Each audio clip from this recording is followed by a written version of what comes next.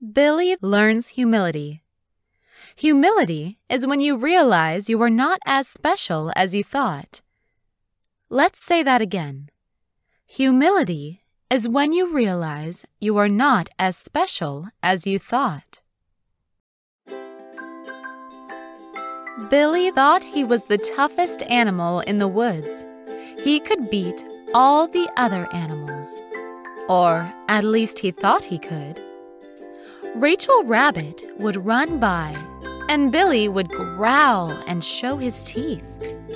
Billy liked scaring the other animals and making them feel weak. One day, an animal came by that Billy could not scare. He growled, clawed, and showed his teeth. But this animal would just stare. Billy was about to pounce. Then something caught his eye. This animal had a rattle, and he shook it in the sky.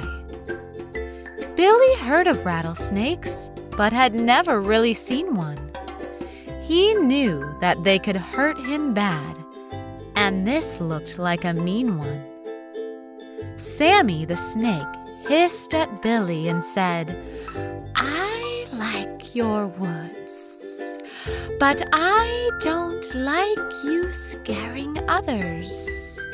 No, that is not good. Billy bowed his head and promised, No more toughness will I display. With a rattlesnake as his new neighbor, Billy humbly obeyed.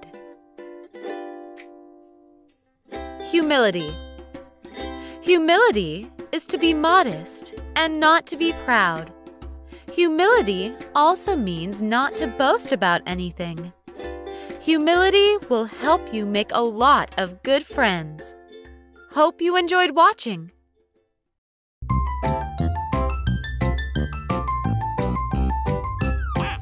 If you liked our videos, please like and share them. Don't forget to subscribe to our channel for more updated videos.